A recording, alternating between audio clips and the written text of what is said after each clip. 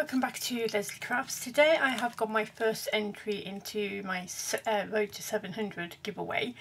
Um, unfortunately the first video, um, how it's uploaded onto my PC is a little bit weird so and I can't find it so I've redone this. So um, one of the items has been used but this is from um, Sarah from Raru Crafts and look how beautiful this card is.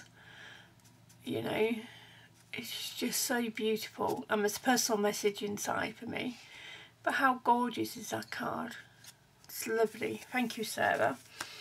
So these are the cards. Now I saw these getting made on her channel and I can't couldn't wait to see them in life. And they do not disappoint. So first of all all the envelope all the cards come with matching envelopes which I think is a really nice little touch. So, and this gnome is absolutely gorgeous. So I will link Sarah's channel um, below this one, hopefully. Um, I'm really bad at linking things, so I do apologise. Uh, but no, go and check out Sarah. She done a, you know, she's done like a process video on how to do these so yeah and more pads and everything she used. So go and check her out. But I think you know the video really does not just do these justice. They are absolutely fantastic. I love a little fat cat. Who doesn't like a fat cat? You know? So and we've all got the same saying inside which is sweet with sincere thanks. So these will be perfect for popping into my happy mail and things like that. So yeah, thank you very much Sarah. Thank you. You know, there you will go. I'm making myself a little box so they will go on the edge of my desk. So I've always got something to hand. Excuse me.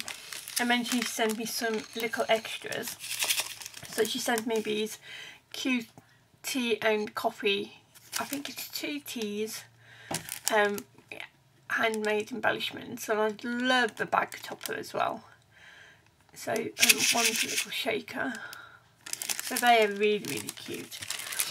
And um, I love doing gold, anything gorgeous girls. So I think she's really, really sweet. So it's a great way of packaging them up as well.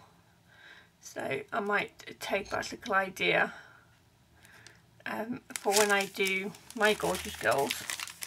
And then she sent me this little matchbook. How gorgeous is this? And inside, got little velcro dots.